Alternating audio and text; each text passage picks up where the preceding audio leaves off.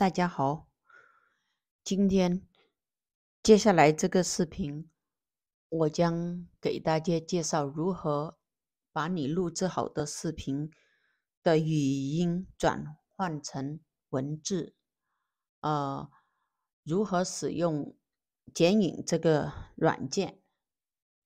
嗯，如果你也想把你的视频的语言转换成文字，那么这个视频。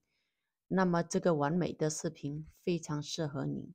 接下来我将逐步地向你展示如何操作。为了避免你在操作的过程中不会犯错误，请您一定要认真、仔细地看完我的视频。首先，我们打开剪影的 APP，然后我们看到这有开始创作，然后我们点开开始创作。然后从你的手机里面选入你的影片，你制作好的影片，然后点选择，然后增加，点增加，视频已经在里面，然后跳出来，你看到上面有编辑音乐文字，那我们选第三个文字，文字这上面有自动产生文字，那我们点自动产生。然后这上面首先我们要选择语言，我的是英文，那我给它选成中文，那我就选择为中文。然后这边识别填充字和停顿，这边我们把它打开。